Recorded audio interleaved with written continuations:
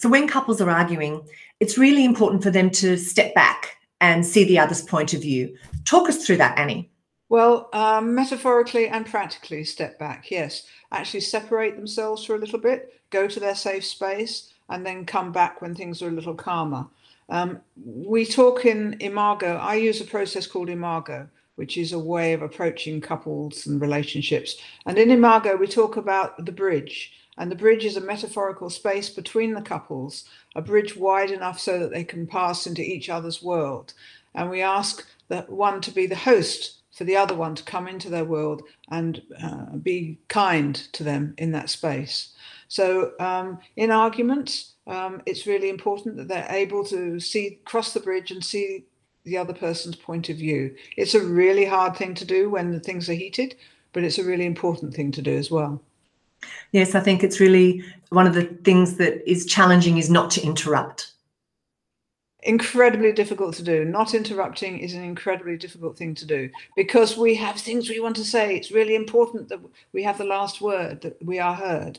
So in the Imago process, we ask that uh, they take turns to listen to each other. And in taking turns, they wait until the other one has completely finished all that they need to say before they start their own part of the argument. And as part of that, we ask them to mirror each other.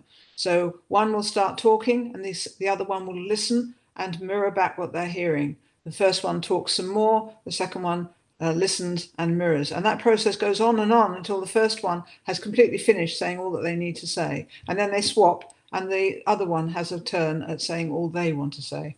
So when you say mirroring, do you mean repeating back? So it might be what I've heard you say, Annie, is. Yes, absolutely. What I've heard you say, or just a, lot, a few th- words of what they've said. Ideally, they'd repeat back the whole sentence or the whole bit that they've heard. But um, it, if they can just repeat a few words of what they heard, that's helpful. But when, when when the speaker hears their words come back to them, they know they've been heard, and maybe they've been heard inaccurately, so they have an opportunity to put it right.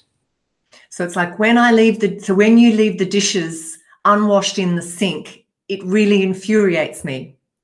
Yes. Well, if you were to say that to me, I would reverse the pronoun. So I'd say, so what I'm hearing you say is that when I leave the dishes in the sink, it really infuriates you. Yes, exactly. Um, and then I say, and is there more?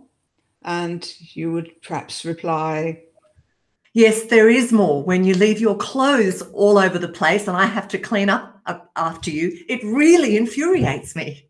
So when I leave my clothes all over the place, it really infuriates you and you have to clear up after me. Is there more?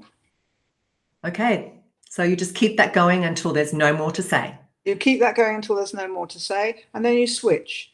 So I become the one to say, um, it really infuriates me when you leave um, your empty coffee cups by the sink and don't put them in the dishwasher.